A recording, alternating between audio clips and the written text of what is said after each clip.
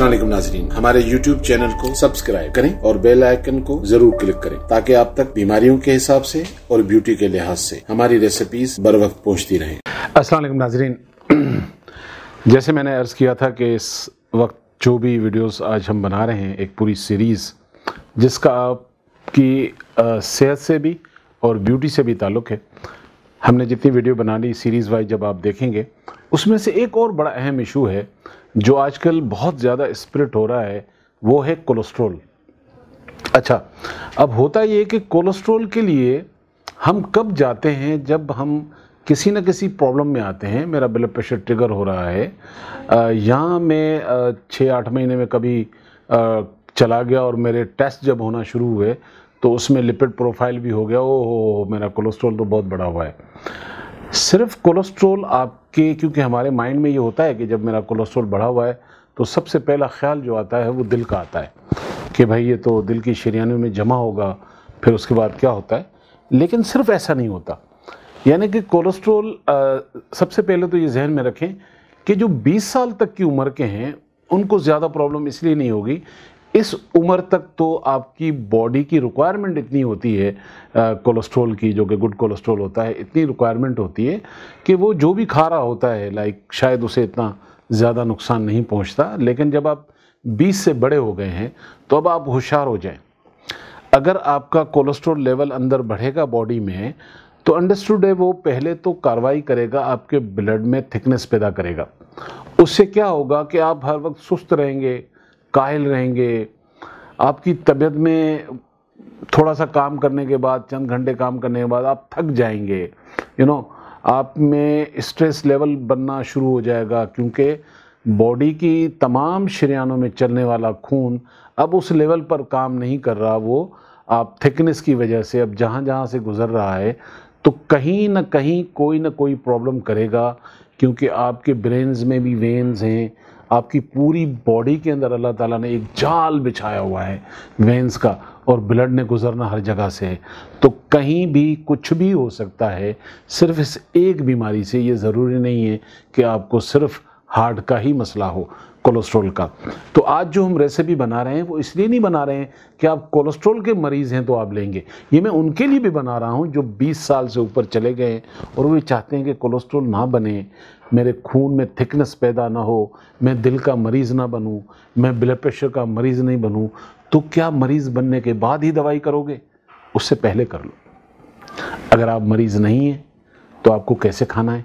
और अगर आप कोलेस्ट्रॉल के मरीज़ बन चुके हैं तो कैसे खाना है?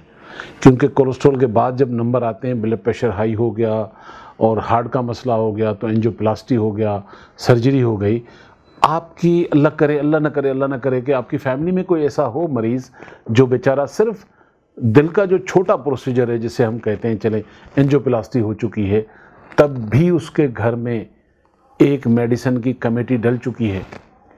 वो तीन चार बेचारा डेली गोली खा रहा होगा, कोलेस्ट्रोल की खा रहा होगा, खून पतला करने की खा रहा होगा यू नो मतलब कोई तीन चार उसको गोलियाँ देते हैं कि भाई अब आप ये ज़िंदगी भर खाते रहें, भूल जाते हैं, डॉक्टर देने के बाद भी भूल जाते हैं। तो उस मंजिल तक जाने की ज़रूरत ही क्या थी?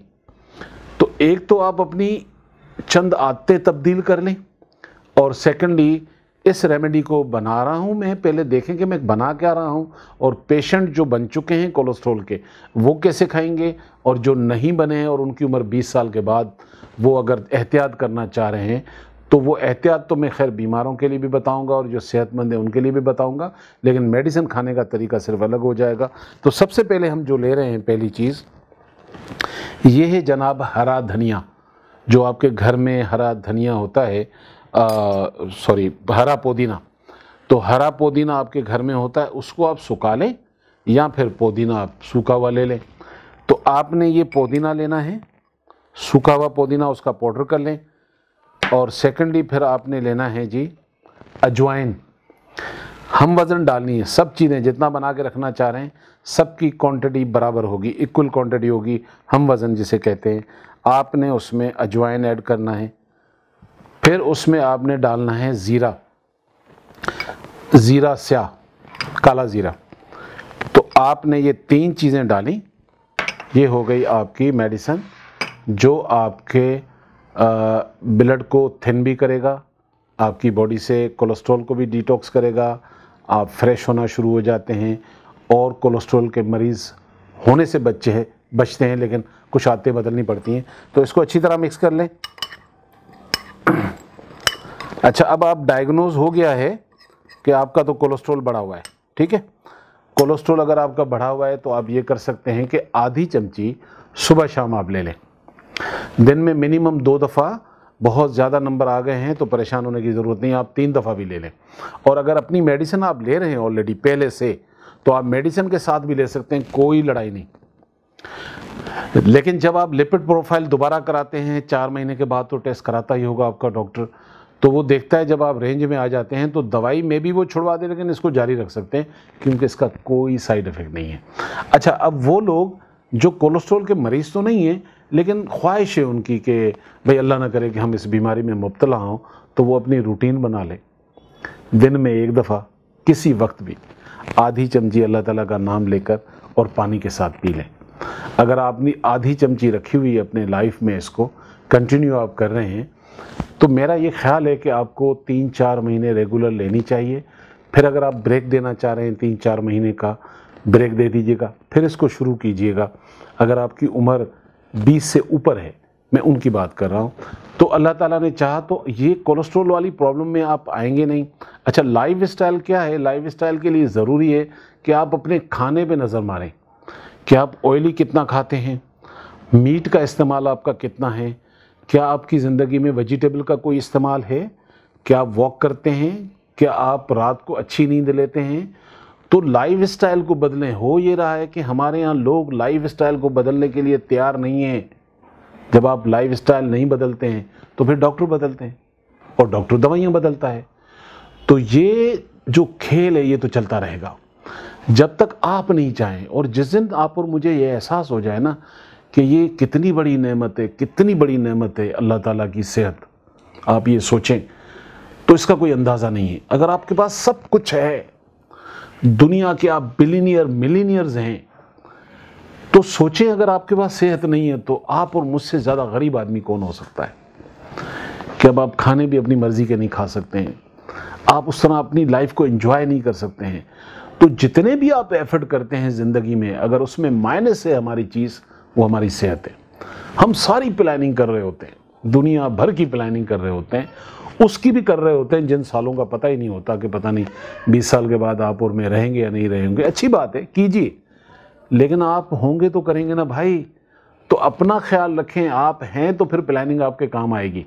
तो इसलिए अपनी सेहत का ख्याल रखें, सुबह अच्छा नाश्ता करें। कोशिश करें दोपहर को वो जो खाने अगर मेरे बस में हो ना तो मैं तो लोगों से ये कहूँ कि दोपहर को अब खाना नहीं बनेगा घर पे, बस ख़त्म। वो वाले पैसे आप लगाएँ सैलड और फ्रूट पे। बच्चों को भी आदत डालें, बड़ों को भी आदत डालें सैलड और फ्रूट खाएँ, डट के खाएँ, जितना भी आप खा सकते हैं उसको, और रात में खाने का वॉल्यूम कम कर दें। और कोशिश करें कि जंक फ़ूड ना खाएँ फ्राइड आइटम नहीं खाएँ ऑयली चीज़ों से परहेज़ करें, और ज़रूरी अपनी ज़िंदगी में वॉक करें। आप यकीन करें कि मैं आपको एक चंद मिसालें दे रहा हूँ कि न्यूयॉर्क में मैं अभी पिछले दिनों, क्योंकि वहाँ था तो कोई अराउंड सिक्सटी सेवेंटी के करीब एज होगी अम्मा की, और वज़न भी मुनासिब था हाँ। तो हमारा क्या होता है कि वो पाकिस्तान को, और मैं कंपेयर क्या कर रहा था, वो आई, उन्होंने कहा, बेटा, मेरे घुटने हैं डॉक्टरों ने कहा चेंज होने हैं तो मुझे इसका ट्रीटमेंट करना है, और मुझे दर्द भी रहता है, ये वो। तो मैंने कहा, ठीक है, अब मेडिसिन तो मैं बना रहा हूँ, लेकिन मुझे ये बताएँ कि दर्द की कैफियत क्या है आपका? क्योंकि वज़न बहुत बढ़ा हुआ है। घंटा डेढ़ जब चलती हूँ ना तो फिर मुझे लगता है कि मेरा दर्द बढ़ रहा है। अब अब अपने अगर घुटनों में किसी को डॉक्टर बोल दे इसके चेंज होने हैं तो उसका तो बेचारी का बाथरूम तक जाना मसला है। तो अगर मैंने कंपेयर किया तो क्या किया? वहाँ पर लोग चलते बहुत हैं, वॉक करते हैं मतलब इतना वॉक करते हैं क्योंकि वहाँ कोई करीब चीज़ें ही नहीं हैं। आप घर से निकलें तो पता नहीं घंटों पैदल, एक मॉल से दूसरे मॉल जाएँ तो पैदल। तो उनकी लाइफ में जो ये वॉक था, वो साठ, पैंसठ, सत्तर साल में घुटने ख़त्म हो चुके हैं, लेकिन वो कैफियत नहीं थी जो हमारे मुल्क में है। इस उम्र में जब घुटनों की कोई बीमारी में मुबतला होता है तो इसलिए आप उसका इंतज़ार कर रहे हैं। इंतज़ार नहीं करें। उससे पहले आप जो है तैयारी करें कि आपका एक न एक वक्त बुढ़ापा आना है आप कई मसलों में जाएँगे मेरे भाई, मेरी बहनों।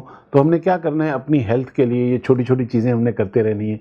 साथ में थोड़ी सी वॉक करनी है थोड़ा सा लाइफ स्टाइल बदलना है। अल्लाह ताला हम सबको महफूज रखे। मैं तो अल्लाह ताला से दुआ करता हूँ कि अल्लाह ताला अगर मेरे ही सदके सारे मरीज़ सही हो जाए तो हम क्लिनिक बंद करने के लिए तैयार हैं। कोई और काम कर लेंगे यार, किस घर में मरीज़ अच्छा लगता है? तो लेकिन बहरहाल ये भी एक सुन्नत है इलाज कराना। तो कोशिश करें कि आप अपना ख्याल रखें ना। बजाय ये कि उसके बाद सारी लाइफ स्टाइल आप अपना बदलें नहीं, और फिर आप दवाइयाँ आपकी ज़िंदगी में दाखिल हो जाती हैं। चलो, ये तो नेचुरल चीज़ें हैं, अल्लाह ताला की बड़ी नेमतें हैं, जो कि आपके घर में होती हैं। मैं तो कोशिश करता हूँ कि आपको वो चीज़ें बताऊँ जो आप अपने किचन से ढूंढ सकते हैं। लातादाद और ऐसी चीज़ें आपके घरों में होती हैं, तरीका नहीं होता पता। हम वो तरीका ही तो आपको बता रहे हैं कि आप कैसे कैसे इस्तेमाल करेंगे। तो इंशाल्लाह नेक्स्ट वीडियो देखिएगा, वो भी आपके हेल्थ से रिलेटेड और बड़ी अहम वीडियो है। तो इंशाल्लाह मिलते हैं थोड़ी देर के बाद। अस्सलाम वालेकुम।